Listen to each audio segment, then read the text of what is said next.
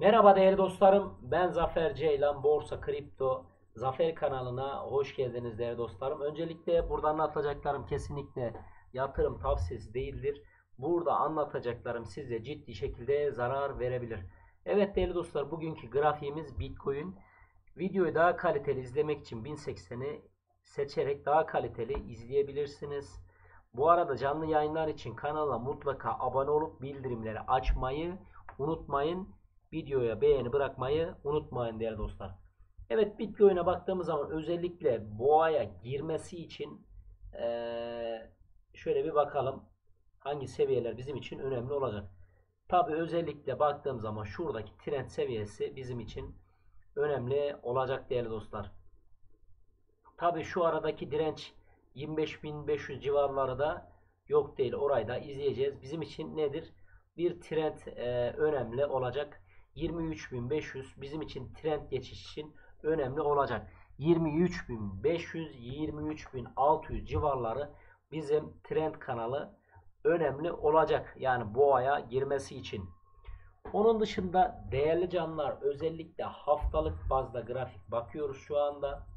Ee, ortalamalar da bizim için önemli seviyeler olacak. Özellikle 8 günlük ortalamalar ve bütün ortalamalar bizim için çok önemli seviyeler. Yani kısa vadeli 17.767 seviyesi 8 günlük üzerinde e, 20.400'ler izlenir. Onun üzerinde kapanışlar 24.000 ve daha uzun vade trend üzerinde kapanışlar hariçte 28.700'ler kapanışlar bizim için daha sağlıklı yükselişlerin e, önünü açar. Ortalamalar üzerinde baktığımız zaman bu şekil konuşabiliriz. Evet değerli dostlar. Bunun dışında baktığım zaman 2017'den itibaren 2021 ve bu tarihe baktığım zaman 2022 yine Aralık ayına işaretleyelim ve bakalım neler olacak. Aralık ayına bakalım. Evet. Şuradan itibaren işaretleyelim. 2017'den bu yana bakacak olursak Aralık ayında Bitcoin ne yapmış? Yükselmiş mi? Düşmüş mü? Yatay mı çizmiş? Piyasa yapıcıları ne yapıyor? Ee, kimse şu anda net bir şey söyleyemiyor işin gerçeği arkadaşlar. Ve ben Aralık ayındaki performansı size ölçeceğim. Bakalım ne yapmış?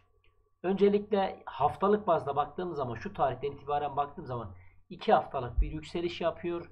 Ondan sonra e, düşüş yapıyor. Tabi biz e, bir yıl içerisindekini hesabını yapacağız. Baktığım zaman bir yıl içerisinde 2017'den 2018'e kadar e, düşüş yapmış. Yüzde e, 84 düşüş yapmış. Evet. Bir düşüş diyoruz.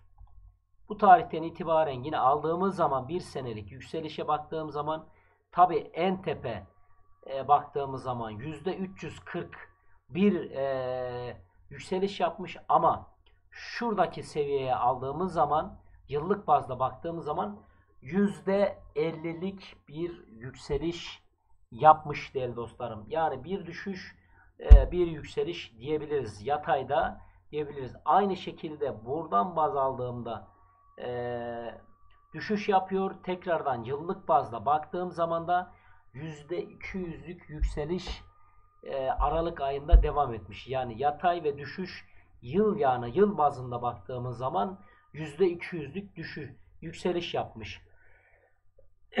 yıllık baktığımız için yanılmıyor yani günlük ve haftalık aylık bakmıyoruz. Aynı şekilde tekrar baktığımız zaman e, yine bir yükseliş yüzde 256'lık e, yükseliş devam etmiş değerli dostlarım. Aralık ayında tam bir senelik baktığımız zaman Aralıktan aralığa baktığımız zaman %300'lük tekrardan yıllık bazda yükseliş yapmış ve en sonuna baktığımız zaman en tepeden alıyorum. Bakın Aralık ayından da almıyorum. En tepeden aldığımız zaman düşüş ne kadar olmuş? %78'lik %70'lik %79'luk pardon düzeltiyorum. %79'luk bir düşüş yapmış değerli dostlarım. Baktığım zaman ortalama yıllık bazda bir senelik boyunca iki sefer düşüş, iki sefer yükseliş, bir seferde yatay yapmış diyebiliriz. Aralık ayından Aralık ayına. Evet bu da ne demek oluyor? Yani hiçbir piyasa yapıcıya baktığımız zaman kimse net bir şekilde konuşamıyor. İşte düşecek diyorlar. E, Yok 10 binler, 9 binler havalarda uçuşuyor. Ben de yani ortalama yüzde 79'luk bir düşüşten hemen hemen bitmiş olduğunu düşünüyorum. Yani belki bu kış çıkartabiliriz veya yazın başlangıcıyla doğru Şubat olur, Mart olur, Nisan ayını olur veya dediğim gibi özellikle 23.500 üzerindeki kapanışlarda tekrardan bir boğa konuşabiliriz. Yani şu anda kesinlikle duygusal bir şekilde konuşmuyorum. Grafikte ne gördüysem onu konuşuyorum değerli dostlarım. Evet. Şuradaki kapattığımız zaman özellikle ben çalışmış olduğum grafik haftalık bazda eee, Fibonacci kanal düzeltmesi değerli dostlar. En son dibimize baktığımız zaman bunları da tabi verelim. Önemli seviyeleri olacaktır. Şöyle baktığımız zaman en sonki dibimde baktığım zaman yani 15476. Bu arada grafiğimiz logaritmik arkadaşlar. Kesinlikle lineerde bakmıyorum şu anda. Onu açık net söyleyeyim. 15476 destek olarak izleyebiliriz. Bunun dışında şöyle kanal desteğimize baktığımız zaman da ortalama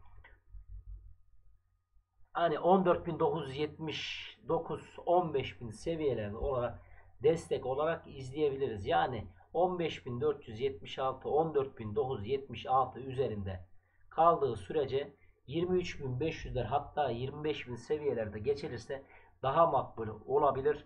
Bu seviyelerin üzerinde kapanışta da tekrardan bir boğa piyasası olarak konuşabiliriz değerli dostlarım. Evet Bitcoin eee, takip eden arkadaşlarım kanala abone olup bildirimleri açarsa da tabi pazartesi ve cumartesi günlerki canlı yayınlarımızda altcoin desteklerine, dirençlerine bakabiliriz değerli dostlarım. Bol kazançlar, hayırlı yatırımlar değerli dostlar.